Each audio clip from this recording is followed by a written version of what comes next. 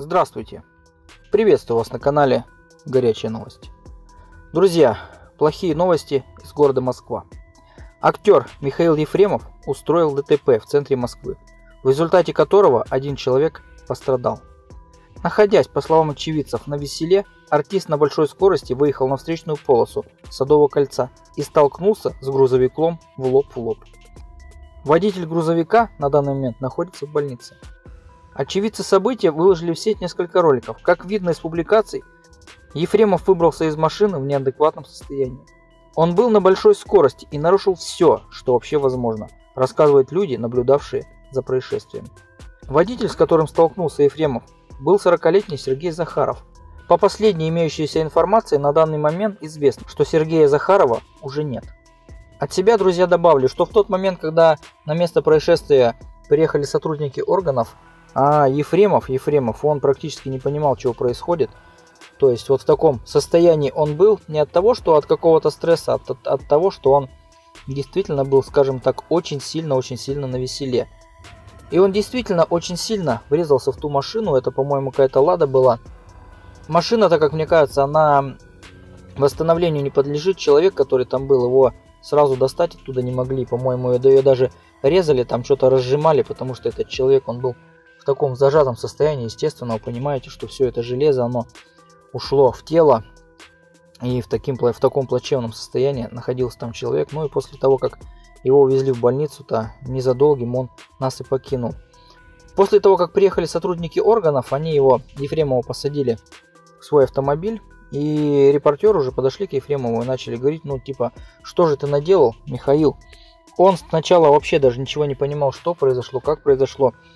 И потом уже, когда до него люди, ну, у них получилось достучаться до него, он вроде как бы начал маленько-маленько приходить в себя, он сказал, что, ну, это не беда, не беда, что я его вылечу, этого человека. У меня денег очень много, он сказал. Он на брань это слово заменил немного, а до, до, одного, до одного места у него денег, и что не проблема, он его вылечит. Они говорят, ну ты же не Господь Бог, что вроде как бы, как ты можешь утверждать, что ты вылечишь? Он сказал, ну не переживайте, у меня денег хватит. Ну, видимо, денег не хватило. Михаила Ефремова после всего этого отвезли в отделение. Перед тем, перед тем, как его возить, он благополучно уснул в машине. Никаких комментариев по этому поводу не давал, он просто тихо, мирно сидел, спал на заднем сиденье. Данное происшествие это уже не первое, которое связано таким ну, похабным, мерзким поведением Михаила. То есть он под градусом уже бывал неоднократно. Насколько мне известно, он уже один раз э, врезался в кого-то или во что-то. Ну что вот э, сотрудники органов тогда тоже подключались, но вроде как его э, получилось отмазать. Также не так давно он сорвал один из своих концертов в театре. То есть он вышел тоже в таком неадекватном состоянии, начал ругаться на зрителя и так далее. В общем, замешан он был уже неоднократно. Мне, мне лично по-человечески Михаила Ефремова очень жалко. Мне кажется, это достойный, талантливый человек, ну, которого э, погубило в свое время э, пристрастие вот, это, вот к этому зеленому змею. И на самом деле он очень адекватный, как мне казалось. Вот его вот эти яркие выражения, он и против власти очень много говорил.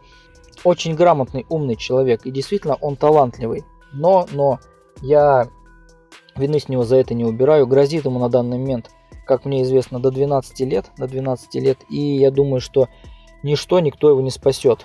В тот момент, когда его привезли в отделение, э, к этому отделению приехали его друзья, в том числе там был и Гармаш, который дежурил там практически всю ночь. Они хотели забрать его, договориться с сотрудниками органов, чтобы они его отпустили, а отвезли к себе домой. А после этого уже, то есть по надобности, когда надо, там какие-то там а, показания с него взять, тому, и они бы его привозили туда и брали показания, но сотрудники органов его домой не отпустили. Видно было, как Михаил Ефремов ту ночь высунулся в окно, закурил сигарету, покурил, когда увидел, что его снимают, то он то есть свое тело переместил а, в комнату. Видимо, он все-таки уже начал приходить в чувство, начал осознавать, что произошло, и как бы то, что его снимают, ему явно было неприятно.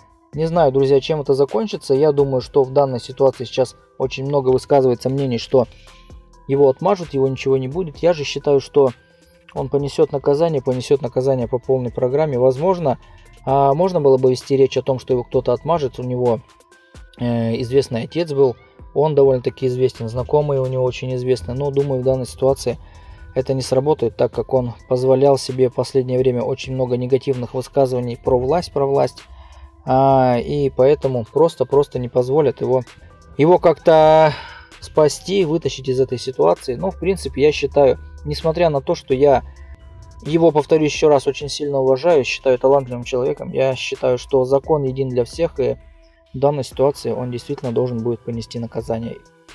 Другого здесь быть не может, и это будет примером как и для его коллег, так и для простых граждан. Ну и это должно быть так, это должно быть в любой нормальной стране так, если ты нарушил закон, ты должен понести наказание, независимо от того, кто ты, депутат, актер, слесарь, э, учительница, либо кто-то еще. Считаю, что наказание должно быть для любого человека, и то, что он был, скажем так, под градусом, это же сейчас у нас отягчающие обстоятельства. Считаю, что, ну, возможно, не 12 лет, но лет 8, лет 8 он получит.